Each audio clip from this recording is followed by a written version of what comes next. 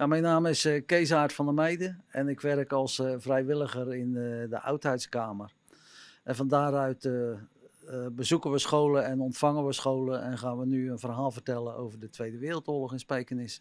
Ja, ik, ik vind het gewoon ja, heel belangrijk dat de kinderen toch weten wat er in die tijd gebeurd is. En ja, het heeft zelf ook altijd mijn interesse gehad, dus ik vind het zelf ook heel leuk om het die kinderen te vertellen. Uit Zuidland zijn ze naar Engeland gegaan uh, Mild in april 1945. En dat was in Higginsfield Floor.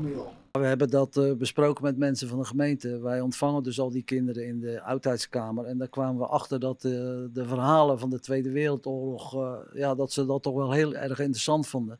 En we hebben nu met de mensen van de gemeente Nissewaard afgesproken dat we die verhalen dus ook op die scholen gaan vertellen. Richting de 4 mei doodherdenking. En daardoor dat er, komen er misschien wat meer kinderen ook, wat meer jeugd naar die dodenherdenking.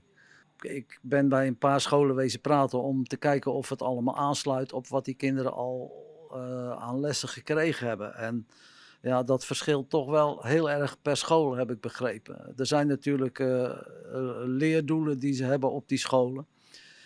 Maar als ze op een gegeven moment achterkomen met uh, rekenen of Nederlandse taal, ja, dan zijn zulke soort onderwerpen toch de eerste die, die geskipt worden. Ja. We hebben inmiddels 13 eh, klassen waar we gaan uh, praten. En ik hoop dat er nog een aantal uh, bij komen en dat we dat zoveel mogelijk kinderen kunnen vertellen.